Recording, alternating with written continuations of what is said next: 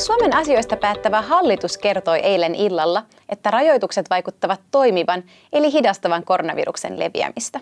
Tällä hetkellä näyttäisi siltä, että rajoittamistoimet ovat purreet, mutta niiden jatkamiselle on silti vahvat perusteet. Hallitus haluaa silti jatkaa rajoituksia kuukaudella, eli ainakin 13. toukokuuta saakka. Se tarkoittaa muun muassa sitä, että koulut pysyvät edelleen kiinni ja lähes kaikki koululaiset jatkavat etäopetuksessa. Hallitus on myös varautunut siihen, että kouluihin palataan vasta seuraavana lukuvuonna, eli ensi syksynä. Seuraavaksi menemme katsomaan videon, jossa 10-vuotiaat Matilda ja Mila kertovat koronaviruksesta viittomakielellä, jotta myös kuurot tai huonokuuloiset lapset saisivat tietoa viruksesta. Korona on levinnyt Suomeen ja koko maailmaan. Korona ei voi nähdä, koska se on niin pieni. Jos haluat nähdä sen, tarvitset siihen mikroskoopin.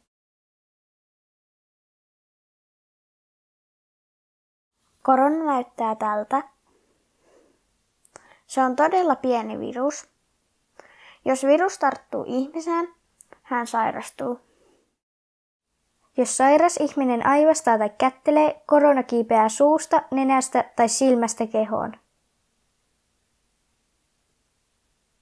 Kehossa korona leviää. Me lapset saamme silloin kuumetta tai yskän. Vanhemmat ihmiset, niin kuin mummo ja ukki, voivat sairastua vakavasti. Minä haluan pysyä terveenä. Olen nyt enemmän kotona, jotta korona ei tartu minuun. Sukulaisten kanssa soittelemme videopuheluita. Koulu- ja harrastuskavereita en harmi kyllä voi nyt tavata.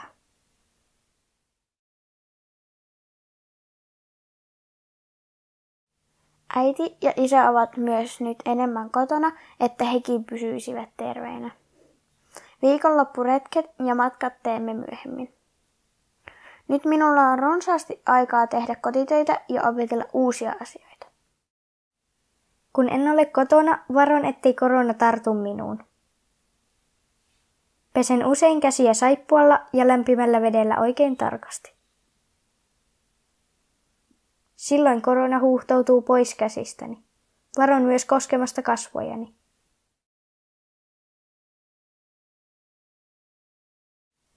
Kun tapaan jonkun, tervehdin vilkuttamalla, mutta en kättele. Korona nimittäin viihtyy hyvin käsissä. Jos näen ihmisjoukon, kierrän heidät mahdollisimman kaukaa. Korona ei pysty hyppäämään kauas.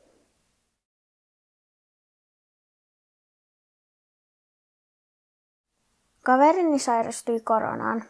Hänen pitää nyt pysyä kotona. Sitä kutsutaan karanteeniksi. Juttelen hänen kanssa puhelimessa. Hän sanoi, että hänelle kuului hyvää ja että hän paranee pian. Meidän ja teidän on huolehdittava, ettei korona tartu meihin. Eikä teihin. Sillä tavalla korona häviää. Sitten voimme taas tehdä kaikkia niin kuin ennenkin. Jee!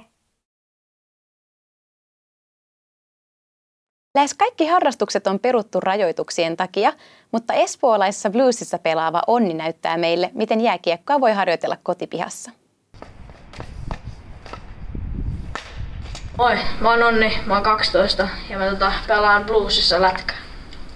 Nyt on kun ei ole nyt tekemistä hirveästi, kun ei ole treenejä ja muutenkaan ei pääse hirveästi liikkumaan ulkona, niin pääsee sitten vetelemään tuohon pihaan ja se on hyvä ajan kulutusta ja muutenkin vähän piristystä elämää. Vetelemiseen tarvii alustan, maalin, kiekkoja jos on, mailan, hanskat. Niillä pärjää.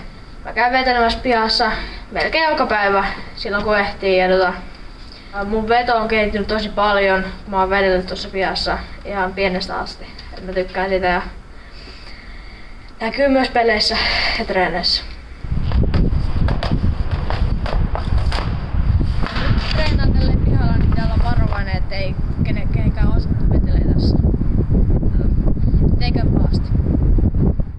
Ja tässä oli kaikki tällä kertaa. Nähdään huomenna. Moi moi!